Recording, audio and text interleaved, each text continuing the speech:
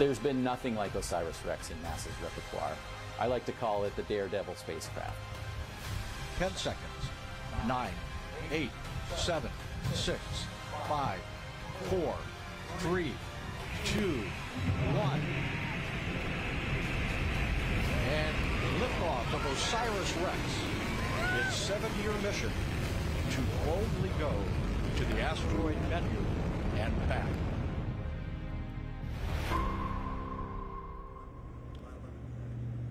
Hello and welcome. I am Karen Fox with NASA's Office of Communications, and we are here today at the Dugway Proving Ground in Utah for a press briefing on NASA's OSIRIS-REx mission. Earlier today, the mission jettisoned a capsule containing samples from asteroid Bennu that parachuted down onto the Utah Test and Training Range so we can study those samples here on Earth. It's been a very big day, and we're going to kick it off with some highlights. Entry was at EO milestone. SRC is experiencing maximum heating and maximum deceleration. So you just heard right there, we're experiencing that 5,000 degree Fahrenheit maximum heating. EO milestone.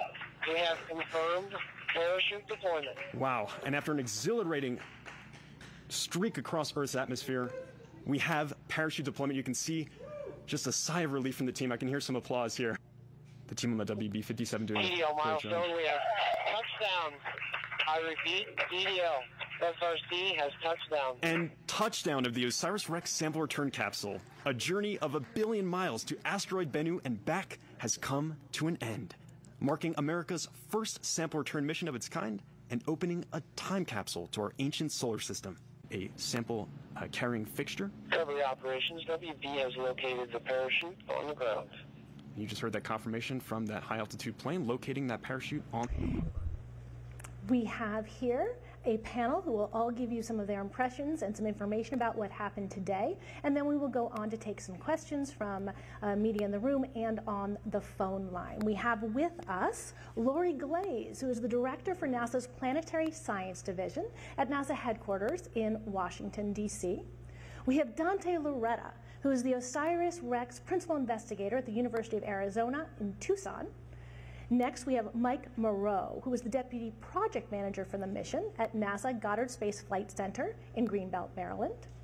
And Tim Priser, the Chief Engineer for Deep Space Exploration at Lockheed Martin in Littleton, Colorado. And finally, Eileen Stansberry, who is the Chief Scientist at NASA's Johnson Space Center in Houston, Texas. Lori, passing it to you. Great, thanks, Karen. I don't even know what to say. What an incredible day this has been. It has just been phenomenal from start to finish. I wanted to start just by thanking everyone that's been here sharing this with us here um, at the Dugway Proving Ground and everyone around the world ha who has watched and followed along all day. It has just been amazing. Uh, we just appreciate everyone coming along with us to celebrate NASA's first ever asteroid sample return. It has been incredible. And these samples that we've brought back and now you know, you're going to hear what the next steps are and you know, what we're going to do with those samples, those are going to be a treasure for scientific analysis for years and years and years to come to our kids and our grandkids and people that haven't even been born yet. It's going to be absolutely incredible. And another thing I just want to point out is that you know this these types of samples they are they are truly the gifts that keep on giving. They are a treasure, and this mission OSIRIS-REx is kicking off a decade of sample return. Following OSIRIS-REx, NASA is partnering with the Japanese Space Agency on the Mars Moon Explorer mission, which is going to bring samples back from the Mars Moon Phobos. We're going to have new Artemis samples of the moon. Uh, feed incredible new scientific analysis and new understanding of our closest neighbor, the moon, and then capped off with the return of samples from Mars, uh, samples that are currently being collected by the Perseverance rover on the surface of Mars. So this is just an amazing, uh, an amazing opportunity here to, to kick that off. Um, I did want to make sure I take this opportunity to thank those that, that made this possible. Um, what you saw today, everything that you saw, could not have happened without the amazing partnership between NASA and Department of Defense, including Hill Air Force Base, Dugway Proving Ground, and the Utah Test and Training Range. And, and then also I'll even add Air Force, who's brought the, the aircraft here that's going to carry our, uh, our precious samples and some of our team members down to Houston tomorrow. Um, it's just been amazing. And I'll also just say what you saw executed today, that precision, everything going just almost perfectly to plan, that happens because of an incredible team. Um, hundreds and hundreds of people. Um, you'll hear from a few of those team members here, but I know that every person that you see is backed by hundreds of others. It's been an incredible accomplishment, and, and I just want to thank Dante and everyone, the entire team, for this incredible accomplishment. And then the last thing I'm just going to close out with is just a reminder that, you know, the spacecraft OSIRIS-REx um, dropped off her precious sample this morning and then 20 minutes later um, embarked on a new journey. Um, she's not only embarking on a new journey, but uh, handed over to new leadership, now um, led uh, scientific leadership by Daniella DellaGiustina.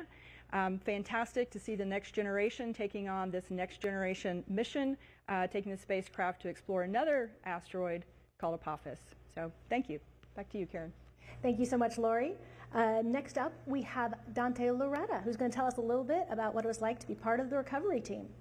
Thank you, Karen. Well, today capped uh, the end of a almost 20 year adventure for me. I got involved in this program in February of 2004 when representatives from Lockheed Martin came to Tucson and said they were thinking up an asteroid sample return mission and they wanted U of A to take the scientific leadership role. And I was brought in as the deputy principal investigator under the leadership of my mentor, Professor Mike Drake. And I just want to think about Mike a little bit here today. Uh, he passed away in 2011, just four short months after we won the contract from NASA to fly this program. And I know he would be super proud and he would have loved today. He would have just really embraced and embarked on this uh, amazing journey.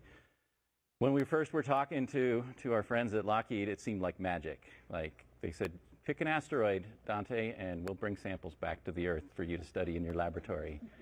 And I can tell you, this is the end of a very long spell. Right? We've been casting it for a long time. And it was great to be part of the recovery team.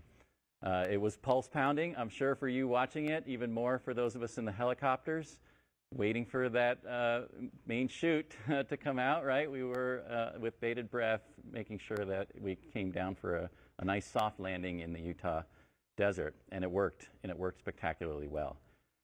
I was fortunate enough to be one of the first people to lay eyes on the capsule, and boy, did we stick that landing. It was just sitting right there, uh, you know, a few tens of feet right off a nice road, perfect place for the helicopters to land. Didn't move, it didn't roll, didn't bounce.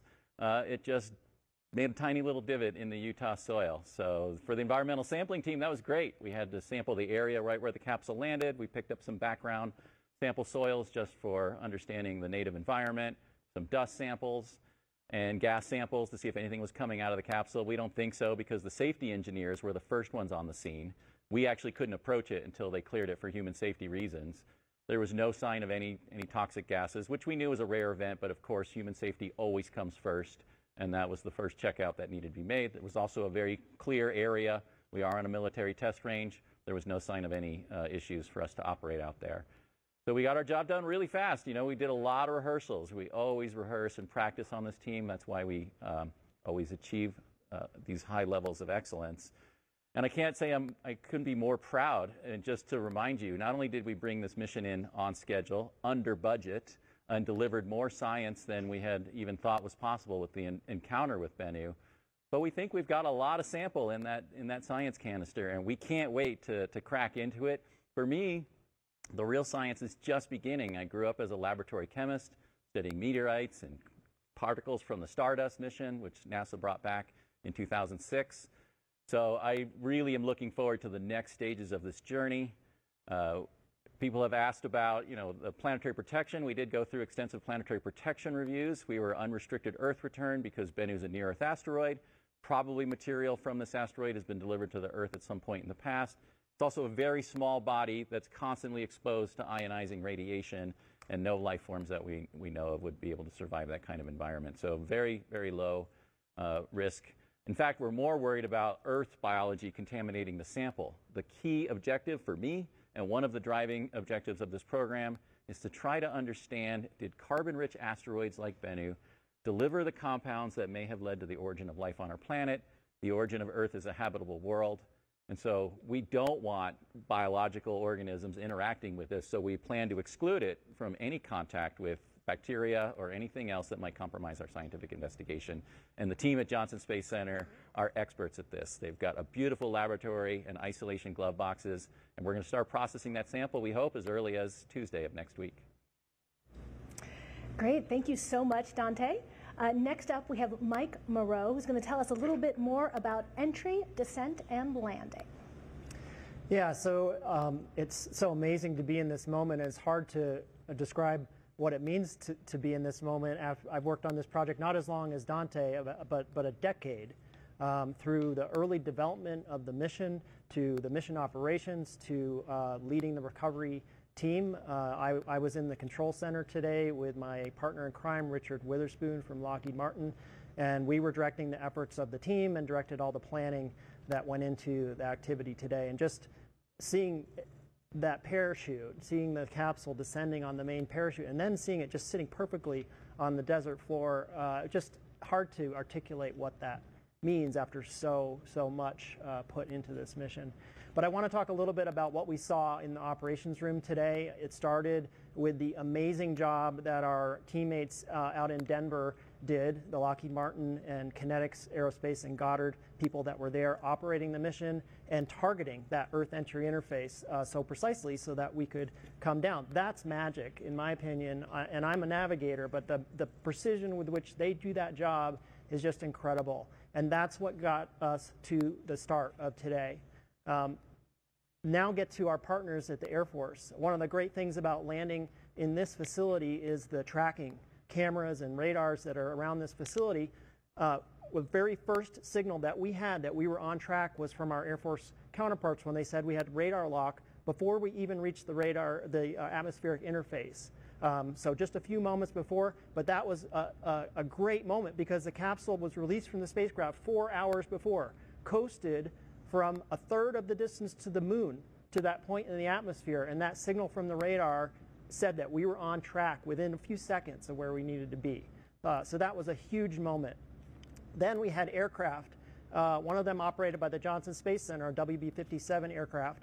Um, it had infrared and optical cameras on it. Very soon after the radar detection, we started seeing uh, signals from the WB-57 uh, and we were able to see the actual hypersonic reentry and the fireball and then track the capsule as it descended until the parachutes came out and landed on the ground. And you all saw that footage uh, on the television. Uh, as far as the landing goes, uh, we landed a little bit to the east of our nominal landing point, but that's what our amazing entry descent and landing engineers have been telling us is going to be happening. They've been looking at the atmospheric uh, density and the models for the, traje the trajectory path we would take through the atmosphere, and they predicted we would be east of our nominal landing location, and that's where we landed. Um, so I just want to say that I'm so proud to be part of this team that did this today. I'm proud to be part of the team that got us here uh, and part of the mission operations. Uh, we had some great challenges to overcome with this mission, and uh, great groups overcome great challenges, and it's been a pleasure uh, to work with some of these amazing teams uh, in my 10 years working on this mission. Thank you so much, Mike. Our next speaker is Tim Priser with Lockheed Martin to talk a little bit about the capsule itself.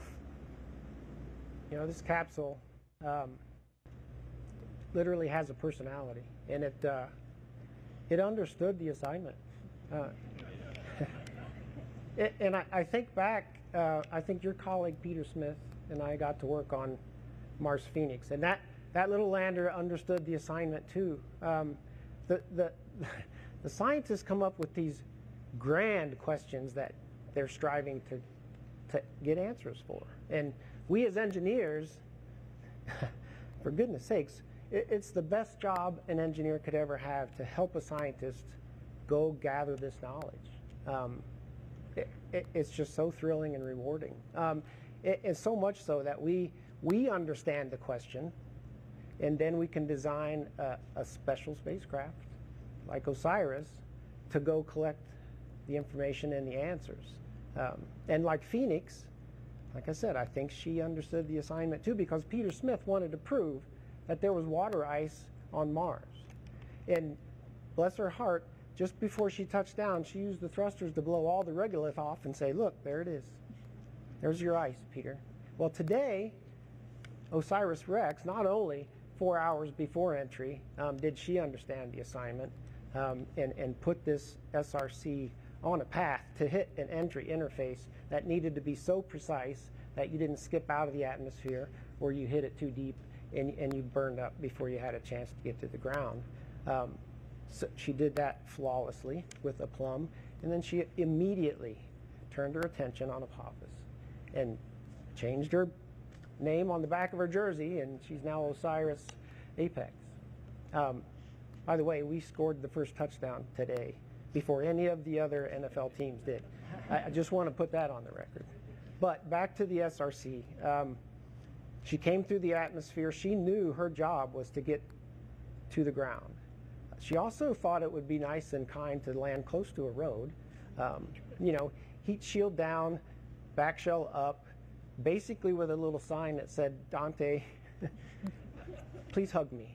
Um, it, and it was so, she made it so easy for us. Um, the, these designs are, are so robust that as she's coming through the atmosphere, you know, whether or not the atmosphere is more dense than it should have been, or expected to be, um, or you know, some something in our sequence may or may not have behaved itself exactly the way we expected it to, but the subsequent things in the sequence made up for the fact that parachute came out and we touched down as soft as a dove. Um, it was just beautiful, and the, you can see the the excitement not only on the scientist team, um, but when they showed the the mission support area back in Littleton and the celebration uh, in that room, that, that's when it becomes real because the thousands of hours that all of these people spent over the decade or more, right, years together, um, they just naturally build relationships that last, last a lifetime. They watch each other's children grow up over that time of the time frame. And um, so their children were, were excited too. Um, family and friends we're back there, and it's just a special, special occasion. Um, and in this case, I mean, when we land on Mars, we don't have a lot of opportunity to go collect the parachute, put it in a bag, and, and analyze it, grab the avionics so we can go troubleshoot and or understand how well or, or they behaved. We have our hands on the heat shield and the back shell, and we can prove that our, our predicts and our models um, either were spot on or we need to adjust them. Um, EDL reconstruction is a real thing. Every one of us, whether it's Mars or Earth, um, that's the first thing as an engineer that we want to do. We want to collect the data, collect the hardware if we can, which we can in this case, and understand how well our models are going to predict the next one. Um, I, I, can watch this video from today over and over and over. It was just a beautiful thing. Thank you so much, Tim. Uh, our final panelist is Eileen Stansberry, who is going to talk a little bit about what happens to the samples after they were recovered. Uh, thank you very much. These samples are an amazing treasure trove for generations, but we currently have a, a team of spacecraft engineers, scientists, and uh, curatorial personnel working right now in a temporary clean room here at Dugway to make the sample capsule ready for transport down to the Johnson Space Center so that we can open it up and reveal this treasure the the entry into the um, uh, clean room has been uh, uh, has gone extremely well. They're processing the capsule, uh, removing portions of the um, uh, canister so that they can get a uh, continuous flow of nitrogen into the the sample canister to ensure that there is no contamination from Earth's atmosphere into that canister and maintain the pristinity of the these samples so that our uh, the science team 200 plus people uh, all over the world uh, can start studying these samples. Once these samples are uh, taken to the Johnson Space Center, we'll be able to re- start removing them, deintegrating the, the science canister, evaluating those samples, and providing them to uh, the scientific community. I, I, think that there's a quick video here of uh, taking that uh, uh, the the capsule into the clean room and uh, uh, being able to uh, safe it and make sure that we retain a, an uncontaminated sample as the stewards of the scientific integrity of these samples. The curatorial team at the Johnson Space Center is working hand in glove with the uh, spacecraft engineering team and the science team to ensure that we are processing and handling uh, this uh, uh, uh sample return capsule in a measured, methodical, well choreographed sequence. And um, I'm happy to report that the uh, uh, sample canister was put on purge today, a little bit before one o'clock. And uh, so we now have a, a continuous flow of nitrogen within that uh, science canister, and we are well on the way to uh, getting that science canister ready for transport down to the Johnson Space Center. And the, the, the support that we are providing to the science and engineering teams today is documenting the handling, ensuring that we understand the uh, uh, the environment that the uh, uh science canister is in, and uh, um, making way for the next generation of understanding a new world. Thank you so much. For those in the room, do know that those uh, videos were showing up on the broadcast. If there are any more, some of these uh, uh, TV screens in the back, you can turn around and try and see them. Um, but for now, we are moving to questions. We are going to take a few in the room and then we will also go to the phone line. If you're on the phone, you can press star one to get in the queue. And we do have a microphone, so if I call on you, please wait for the mic. Alex Witze. Uh, the ours are right here.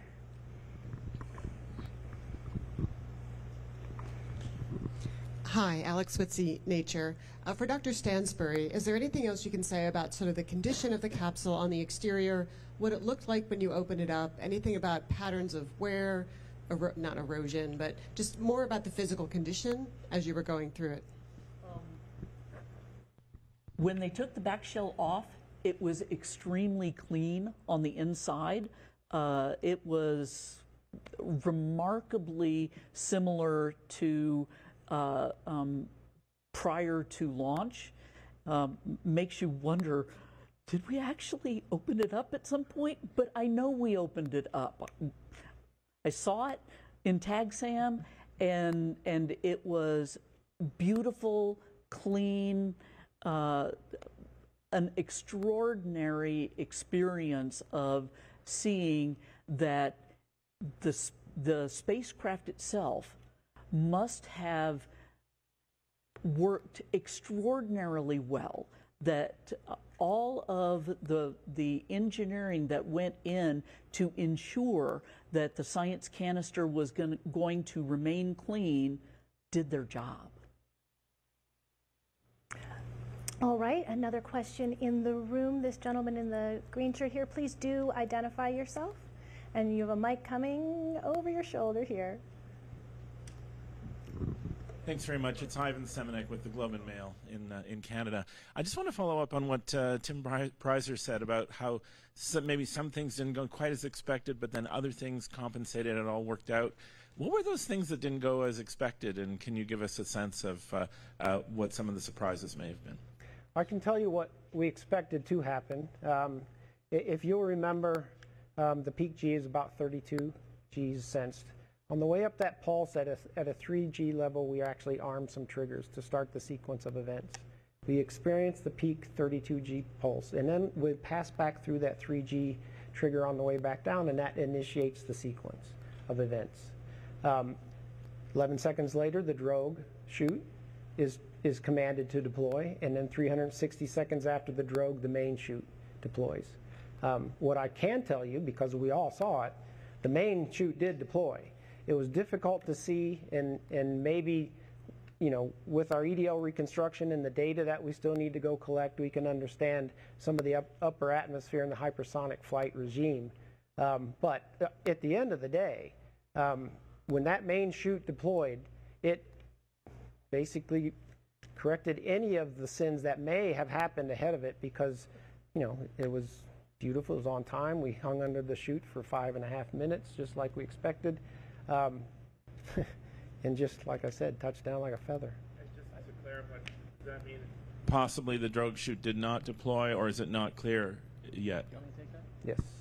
So um, we don't know uh, if the drogue chute deployed because we don't know if we can see that in the imagery. The imagery that we saw was not positive.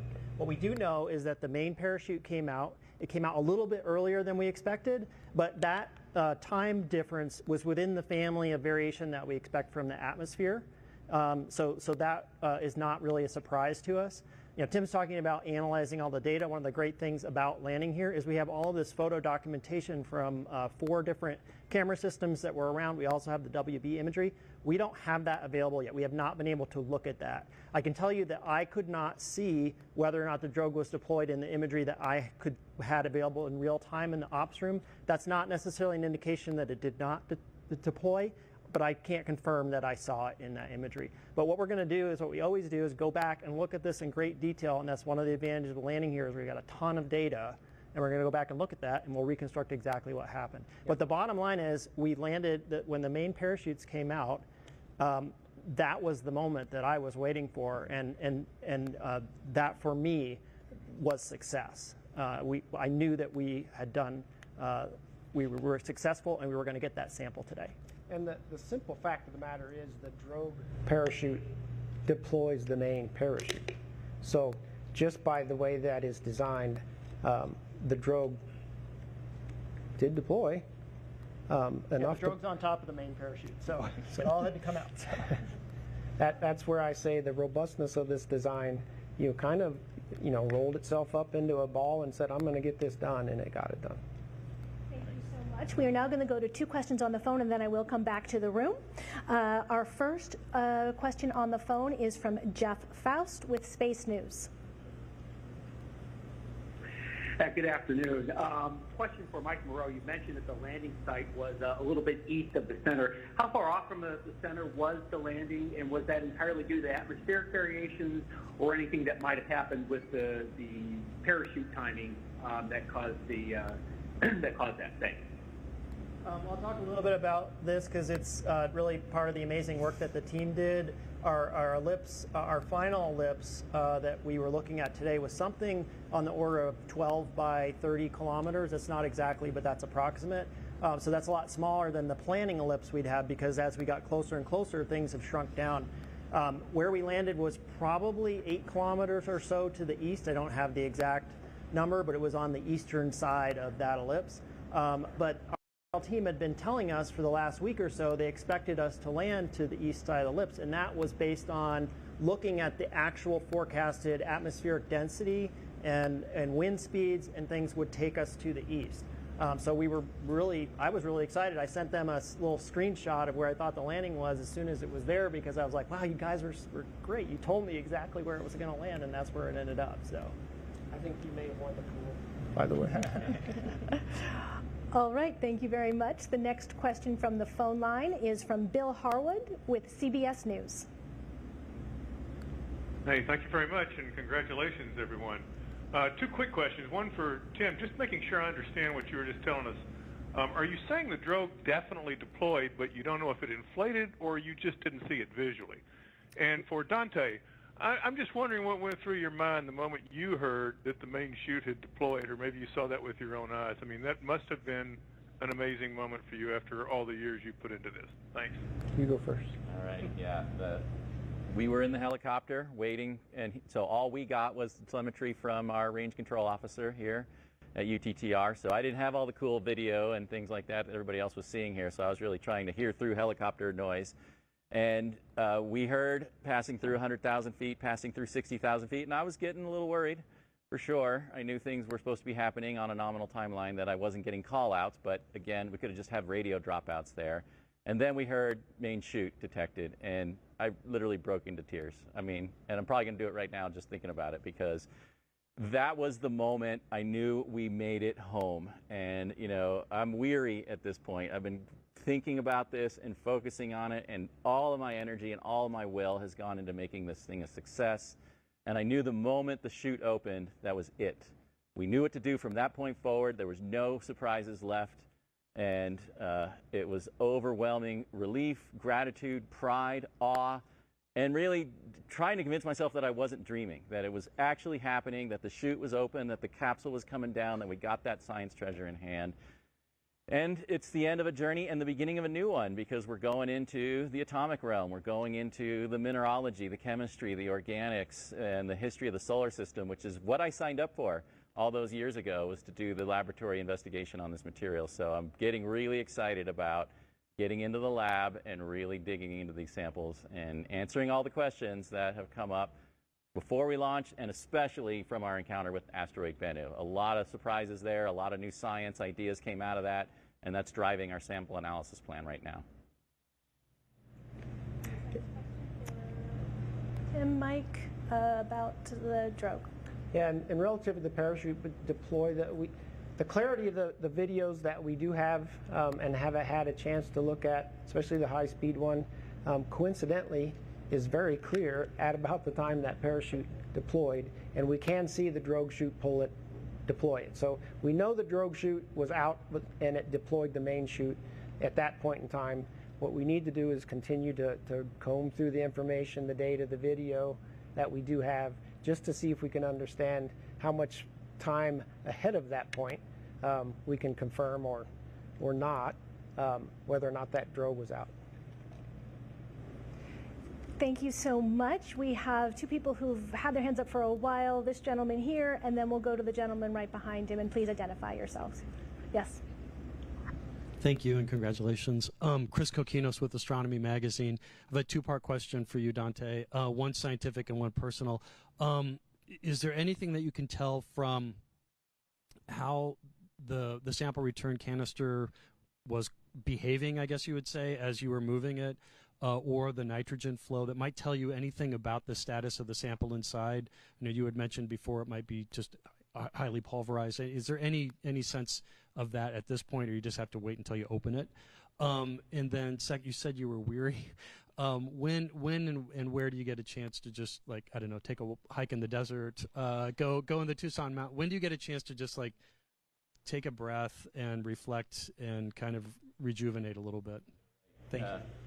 So I, we don't have any information about the nature of the return sample at this point. Uh, this capsule weighs 50 kilograms. We think we have 250 grams of, of sample inside there, so you really wouldn't be able to tell anything. And they wouldn't let me shake it like a kid in Christmas, trying to see what I can hear inside there yet. So, and they probably won't let me do that, right, Eileen?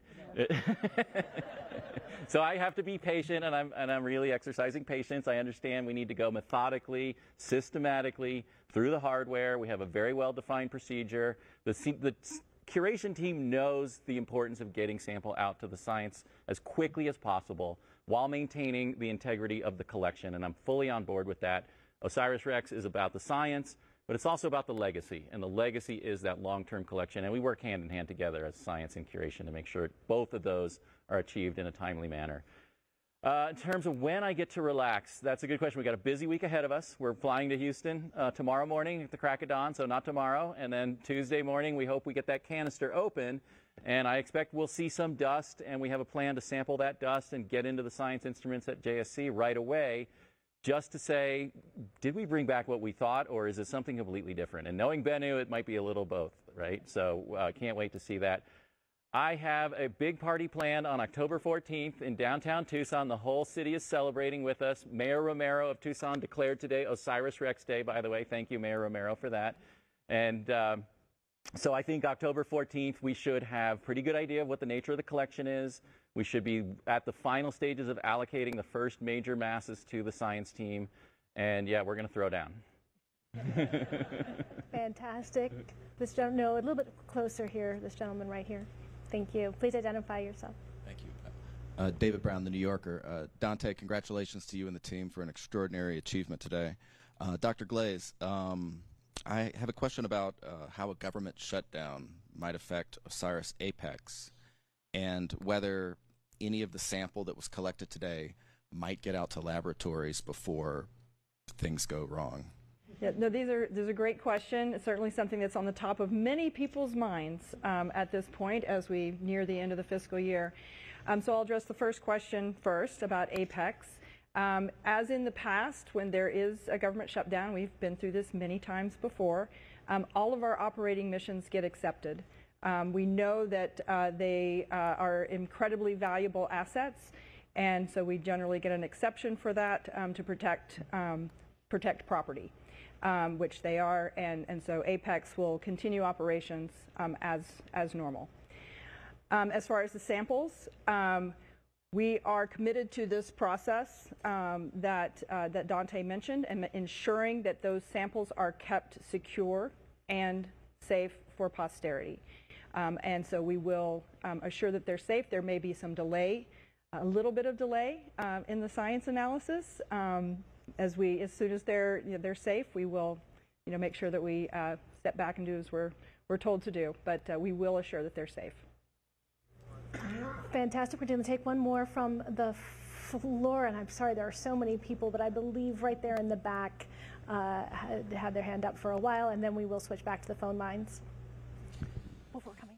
Good afternoon. Thank you all for joining us. Uh, my name is Spencer. I'm with Fox 13 here in Utah. Welcome to Utah glad you liked it here, uh, and glad Osiris liked it here as well.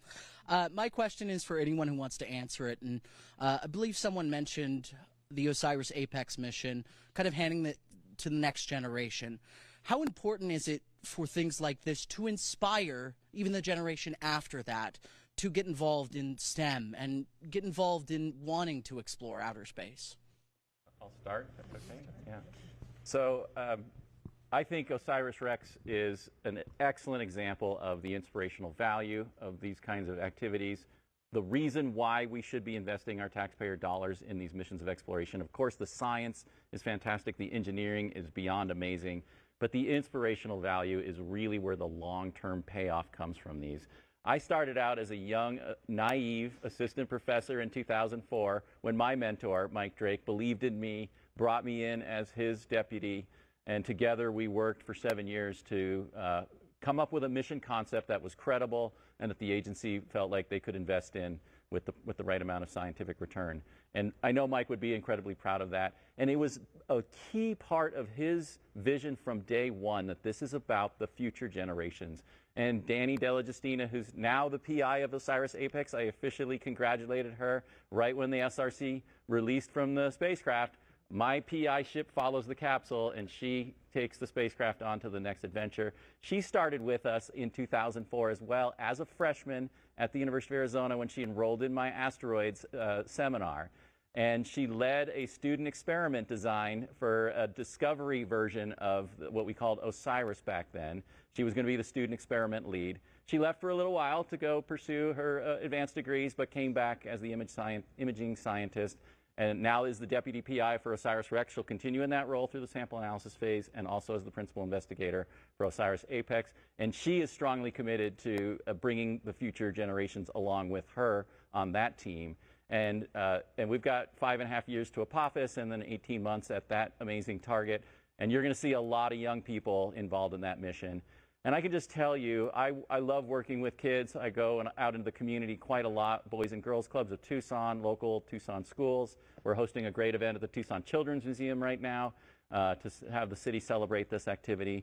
And I also teach undergraduate and graduate students. And so many of them said, we are here because of OSIRIS REx. We came to Tucson because the OSIRIS-REx mission was based here, and it was just an amazing example of what people can do when we put aside our differences, we focus on a common goal, we can achieve great things. This country can achieve great things, but we have to work together to make that happen.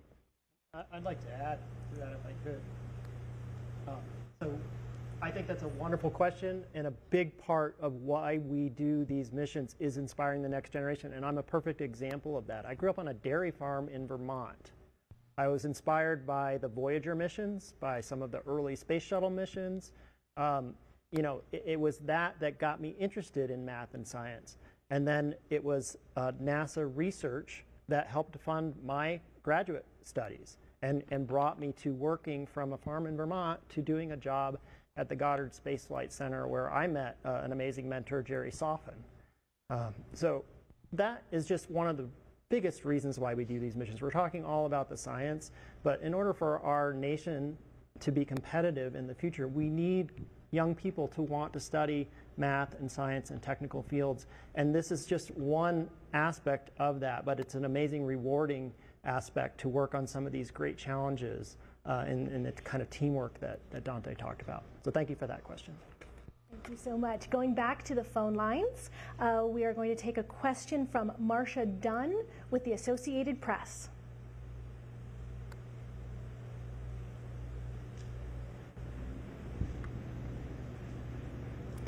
Not hearing you yet, Marcia. And it, Great. Well, I am going to um, go on to the next person, though uh, I think Marcia might be on there twice, so we might uh, need to go to her other phone line and see if that one works. Um, for now, though, we are going to go to Robin Andrews with Popular Mechanics.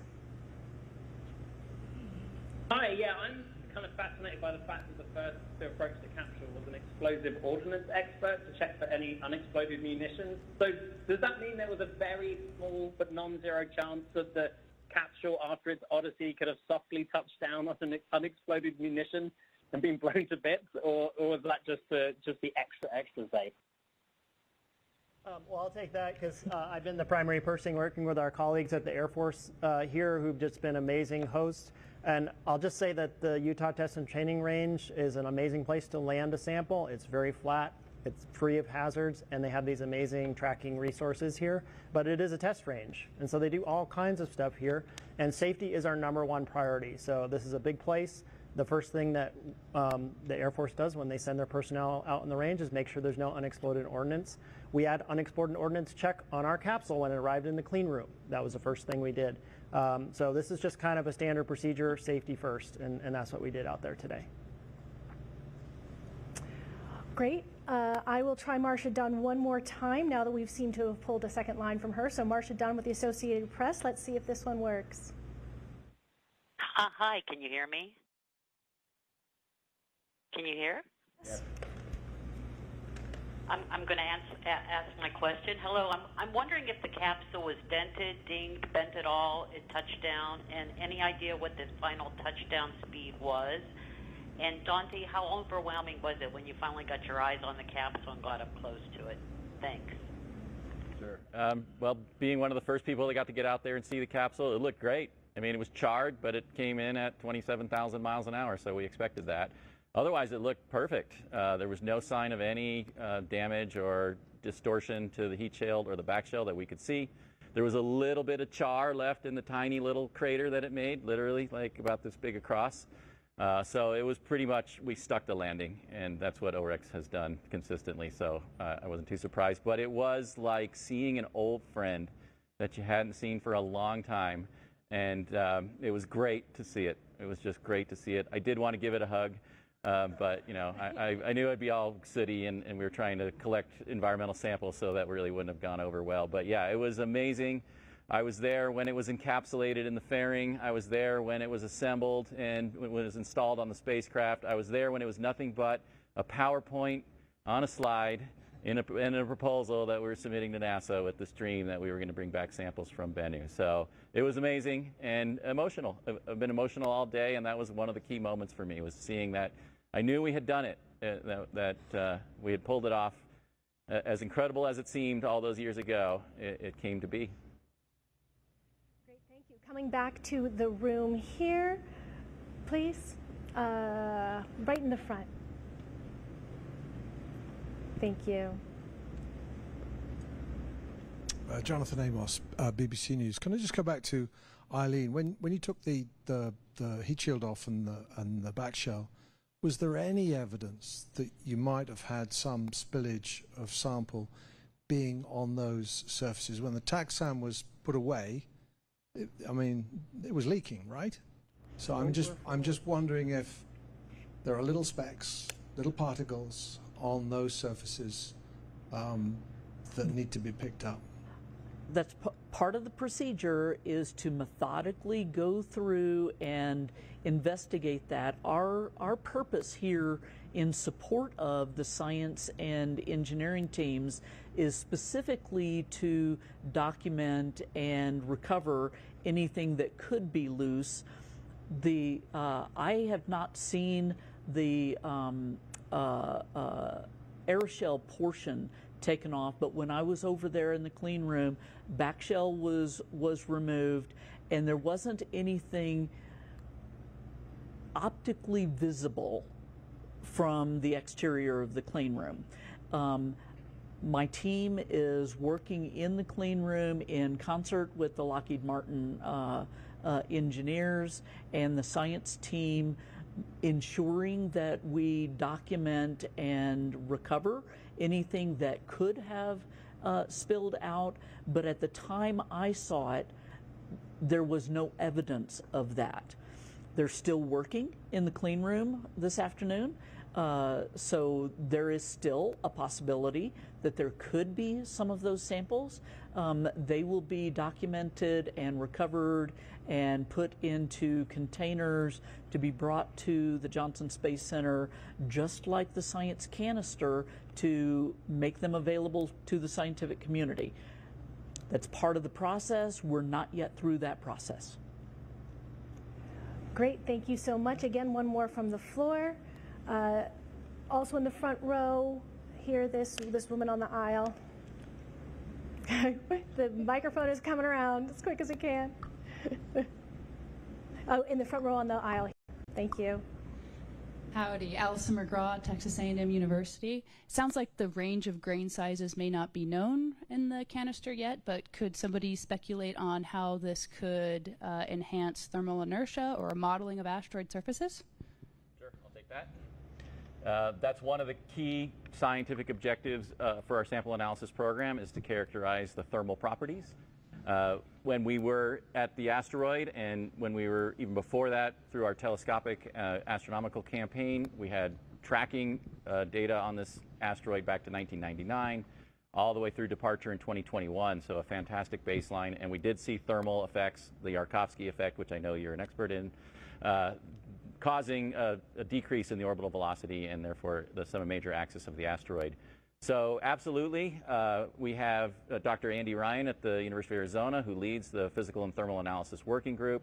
We have partners in Japan, partners in Canada, as well as some special laboratory equipment that we've designed right at the University of Arizona to measure thermal conductivity, thermal skin depth, and uh, bulk density and other uh, key parameters that will feed into understanding the thermal inertia, allowing us to do an even better job of constraining the energy balance in the regolith of the asteroid, which is one of the top uh, science objectives. It's called out in our level one requirement to do that, actually. So yeah, it's a big part of our program and um, feeds into the planetary defense initiatives because these kinds of parameters really influence future trajectories of these objects. So if you want to have an accurate prediction of where they're going to be in the future, you can't just rely on Newton's laws even Einstein, you still have to go to the thermal properties in Yarkovsky to really get a complete solution. Great, thank you so much. We are going back to the phone lines. Our next call is from Nell Greenfieldboyce with National Public Radio. Hey, thanks for taking my question. This is for Dante. So um, the first thing you guys might be able to look at is dust, you know, on the outside um, of the canister or, or the sample container, I mean the, the collection device that's inside the canister. What, what tests will be done on the dust and what will you be able to tell from it? Like what will be the first um, things you learn uh, that we should know in the next few days? Yeah, we have a, a, great suite of analyses planned. We call this our Tiger team for a quick look analysis of the sample. There's some great instruments right there at Johnson Space Center. We'll be doing, and I'll get a little technical here, but Fourier transform infrared spectroscopy, which will give us a pretty quick assessment of the range of minerals that we see in there. We have scanning electron microscopy and energy dispersive spectroscopy, uh, scanning electron microscopy with energy dispersive spectroscopy to give us elemental abundances. We'll be sending some of the material to our partners at the Natural History Museum in London, who are experts in X-ray diffraction and characterizing bulk mineralogy using that material. So what we're really looking for is what hypothesis one, and if you're interested, I posted the sample analysis plan on arXiv.org, so anybody can download it. It's free to all. It's about 300 pages, so just get ready. Uh, if you're really wanting to dig into that, it's, it's, quite a, an engrossing read, I think. Uh, and it'll lay out hypothesis one, which is did we accurately characterize the bulk mineralogy and chemistry of the surface of the asteroid? i.e., did our remote sensing instruments work and did our data processing lead us to the right conclusions? So I'm going to be looking for the basics. Are there clay minerals there? Are there carbonate minerals? Are there organic molecules? Do we see the iron oxides, the other things that we predicted on the asteroid surface? I'm sure there's going to be surprises in there. Once you get into the dust scale, you'll probably start to see a wide level of diversity, but it's kind of like a sneak peek of what might be in store for us. Uh, we don't know if the dust what we call the fines. There's intermediates, coarses, and large stones. There might be variations in mineralogy and composition by particle size. The larger ones may be more robust to disaggregation, and the loose stuff, like the one we crushed when we tagged the surface, may be preferentially in the fine-grained component. So it really is to give us a sense of what are we dealing with, are we way out of the box in terms of what we built this big plan around, or does it look like, yeah, we got it pretty close, there's some surprises, but we can still continue with the sample analysis plan that we laid out? All right, our next question is also from the phone line. Stephen Clark with Ars Technica.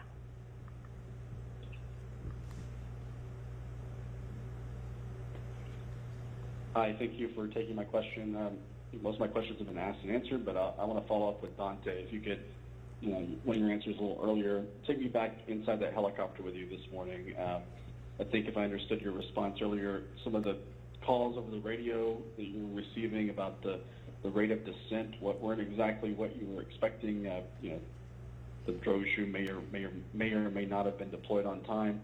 Uh, just on the video, when I didn't see any sign of the drogue, I certainly had my heart pumping.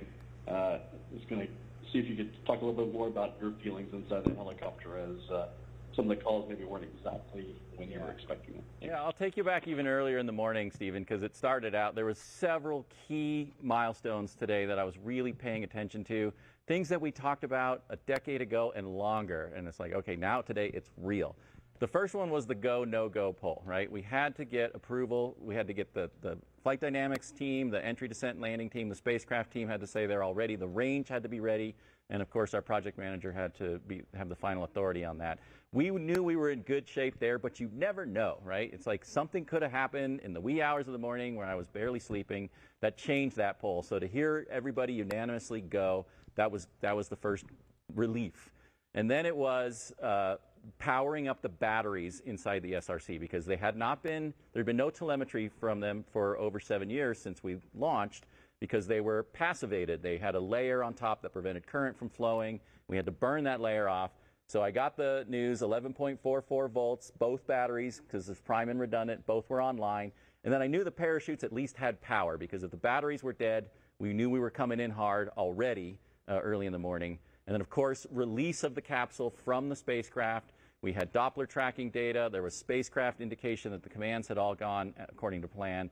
So that it was, it was on its own. And then the divert maneuver so that spacecraft wasn't following the capsule in. So everything on the spacecraft kind of set me up into a, a, reasonably good mood. And then I knew it was all about the parachute. That's the only thing that I needed to know was that that parachute deployed. So obviously I was keyed into that more than anything. Uh, it was hard to hear in the helicopter. I didn't have the cool video. I couldn't see what was on screen. Uh, and maybe that was a good thing because I heard it was a little bit of a, a, a pulse pounding moment. And I do ask myself, how many of those can you have in one lifetime, right? And I might be reaching my limit, I'm not sure, but it kind of feels like it today. Uh, and so it was, you know, I knew we were looking at around 100,000 feet. We should get confirmation of drogue. And, I, you know, we had our amazing range safety officer, Jasmine. I don't know if you're here, but she's been great to work with. And so she was the one that was actually getting the callbacks and then and relaying, relaying that back to us. And I was like, do we have drogue? And she's like, they're not calling drogue. And I was like, we're at 60,000 feet. And I think I looked at Scott Sandford and I was like, I don't know. I said we should have drogue, but it could be coverage. It could be that we're not seeing it. I know the helicopter was was having trouble because of the location where we had touchdown and relays to get the video feed back here. And so I was mentally preparing myself like for the worst case scenario. I always said this is like you're the championship game, you've just thrown the touchdown, winning pass, and you fumble it out of bounds. That's what my nightmare was. It's like I can't lose this at the last minute. And so I was just trying to make sure I didn't totally break down in front of an international audience, right? And it's like, okay, you got to keep it together when you get out of this helicopter, deal with it, whatever is there, and then mourn if that's what you're going to have to do. But then within minutes, you know, Jasmine said, main chute. And I was like, that's, that's when I just emotionally just let it go. Uh, you know, tears were streaming down my eyes. I was like, okay, that's the only thing I needed to hear. From this point on, we know what to do. We're safe. We're home. We did it. As I told Lori as we were getting ready, I can't believe I ate the whole thing, right? From soup to nuts, everything is, is on the flight program for Osiris Rex went smashingly, just, just smashingly well. And, and so enormous pride and gratitude and, and, and excitement on, on the next phase, sample analysis so much. Uh, we have time for one more from the room, especially if our panelists are quick in their answers. Um, um, um, I will take this gentleman right here in the dark blue shirt. Um, uh, passing it from the other side is coming to you. If you look the other way. Thanks. Yes, I'm uh, Justin Davenport from uh, NSF. Um, you, Bennu is a carbonaceous asteroid, and we ju- we now have samples from several car- from several asteroids. Um, which type of asteroid do you, does the scientific communi- community want in the future? Which type of asteroids are you looking at for the next sample return mission? Well, I can tell you my personal preference, which is we're going, and it's a it's a decadal survey priority. It's comet sample return, right? The next big small body sample return challenge is comet sample return, right? Because the one thing that we're not getting with carbonaceous asteroids are the volatiles, the things that make ices. And those are critical, you know, especially with these icy surfaces getting irradiated. Lots of interesting organic molecules can form under those environments. So uh, we've been working uh, as a team, and these things, you know, you got to stick with them uh, to get a comet sample return mission credibly proposed to NASA at the next, we hope, New Frontiers opportunity we think we'll be really competitive in that in that environment. So I am sorry we don't have time for more questions. Uh, for those who didn't get their questions answered, please do write an email in and we will try to get your questions answered. Uh, stay tuned. You can follow the rest of the mission uh, nasa.gov slash OSIRIS-REx and uh, we will have more information soon about leaving tomorrow on the C-17 which is parked uh, just outside uh, to get those samples to Houston. We're going to end with some highlights entry was at. EDL milestone. SRC is experiencing maximum heating and maximum deceleration. So you just heard right there, we're experiencing that 5,000 degree Fahrenheit maximum heating. EDL milestone, we have confirmed parachute deployment. Wow, and after an exhilarating streak across Earth's atmosphere, we have parachute deployment. You can see just a sigh of relief from the team. I can hear some applause here. The team on the WB-57 doing EDL a great job. have touchdown. I repeat, EDL. SRC has touchdown. And touchdown of the OSIRIS-REx sample return capsule. A journey of a billion miles to asteroid Bennu and back has come to an end, marking America's first sample return mission of its kind and opening a time capsule to our ancient solar system. A sample uh, carrying fixture. Recovery operations, WB has located the parachute on the ground. You just heard that confirmation from that high altitude plane locating that